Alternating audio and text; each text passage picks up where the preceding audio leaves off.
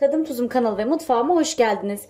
Bugün size meyveli prenses pastası yapacağım. Çocuklar bayılıyorlar. Hemen tarifimize başlayalım. Burada tam tamına 1,5 litre süt var. Onu hemen böyle orta boy bir tencereye alıyorum. İçerisine 1,5 bardak, burada 200 e, milimlik bardakla ölçtüm. 1,5 bardak toz şekerim var. Ve bir buçuk bardakta irmiğim var. Bunu güzelce karıştırıyoruz şimdi. Koyulaşana kadar pişirmeye devam edeceğiz. Bakın artık göz göz olmaya başladı. Ben içerisine böyle bir portakal aroması vardı. Onu dökmek istiyorum. Tat versin, lezzet versin diye. Ee, evinde olmayan için bir adet portakalın kabuğunu rendeleyebilirsiniz aynı tadı ve lezzeti yakalarsınız o şekilde de. Ben sadece elimin altında vardı ve kullanmak istedim. Kaynadığı için bir yemek kaşığı da tereyağı ya da margarin koyabilirsiniz. Şimdi eritiyorum iyice. Eridikten sonra altını söndüreceğim ve borcama dökeceğim.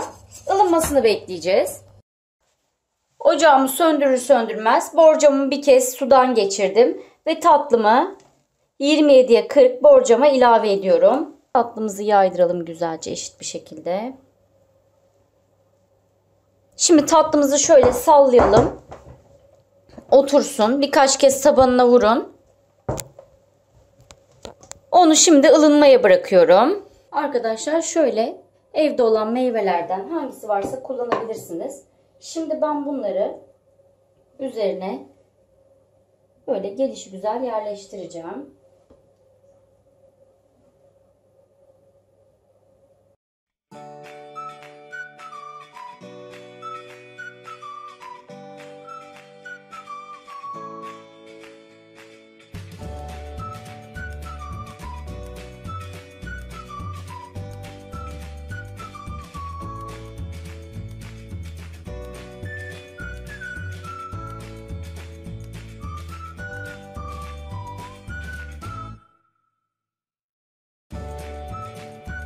Bence bu kadar yeterli.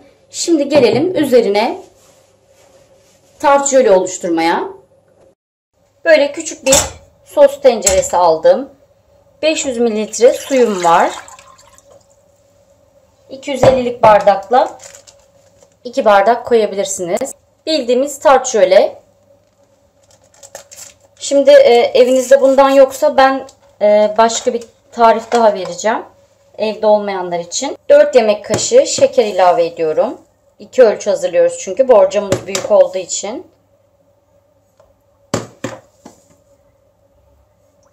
Şekeri eritelim. Tart jölemizi ilave edelim. 2 paket ilave edeceğiz biz. Şimdi jölesi olmayanlar için tabii ki yine 2 ölçü yapacaksanız evde hazırlıyorsanız 500 ml suya 4 yemek kaşığı şeker ve 2 yemek kaşığı dolusu nişastayla benim kullandığım e, borcama yapacaksanız dediğim ölçüyle. Şimdi bunu pişiriyoruz güzelce. Orta ateşte kaynayıncaya kadar pişiriyoruz. Arkadaşlar diğer tenceremde de süt var. Onunla yoğurt yapacağım. Her çocuk ev yoğurdunu hak ediyor. Lütfen evde çocuklarınıza kendi yoğurdunuzu kendiniz yapmaya çalışın. İçerisinde süt taşırmaz var. Onu da size göstermek istiyorum. Süt taşımaz şöyle cam bir şey. Sütü eklemeden önce içine atıyorsunuz. Bakın böyle camdan yuvarlak bir obje. Tencerenin dibine koyup sütü boşaltıp kaynatıyorsunuz. Asla taşma yapmıyor. Ya da bu yoksa üzerine bir tahta kaşık koyarak da taşmasını engelleyebilirsiniz. Bakın tart jölemiz kaynamaya başladı. Bu şekilde bir dakika daha kaynattıktan sonra ocaktan alacağız. Ve bir dakika daha bu şekilde karıştırarak birazcık ılınmasını sağlayacağım. Sonra tatlımızın üzerine gezdireceğiz.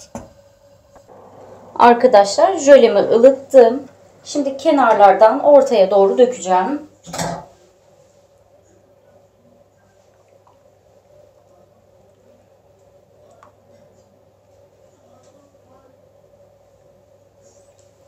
Her yerini kapladım. Şöyle bir sallıyorum. İşlemimiz bu kadardı. Meyvelerimin hepsinin üzerinin örtüldüğünden emin oldum. Şimdi onun soğuması için buzdolabına kaldıracağım.